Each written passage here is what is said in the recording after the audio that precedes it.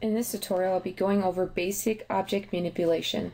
In the Santos environment, there are a variety of objects and models that can be used and maneuvered to demonstrate real-life object illustration.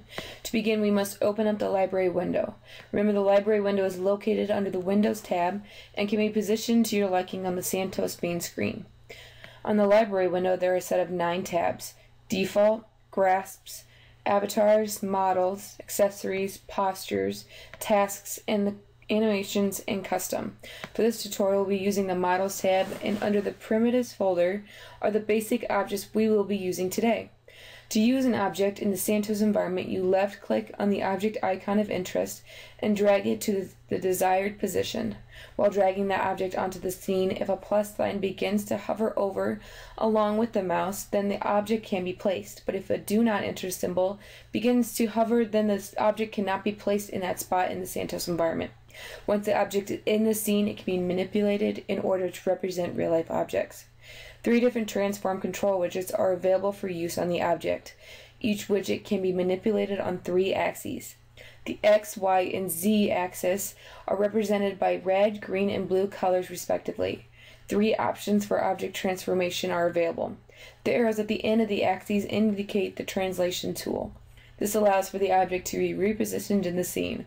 The object can be repositioned in all three directions by left clicking onto one of the arrows and dragging into the desired direction.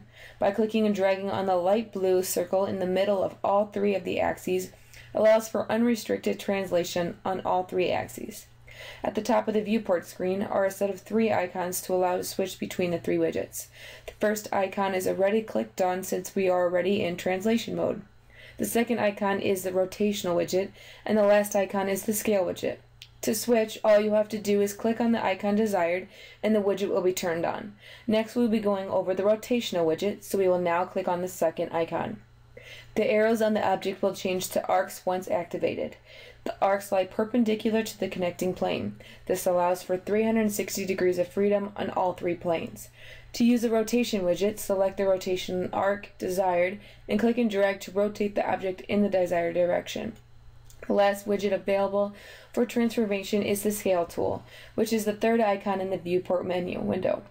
The Scale tool allows for resizing of the object on all three axes. The arcs on the three axes will now change to square planes. The objects can be elongated or shrunk in order to effectively demonstrate your real-life object. To use the scale tool, click and drag the axis of interest and drag outward to extend or into the object to shrink.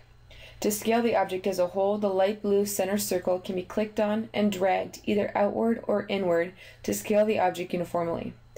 To more easily interchange between the three widgets, instead of using the icons in the viewport menu, a hotkey was created.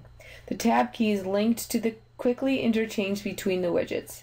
To use the key, the object must be selected where the axes on the object are showing.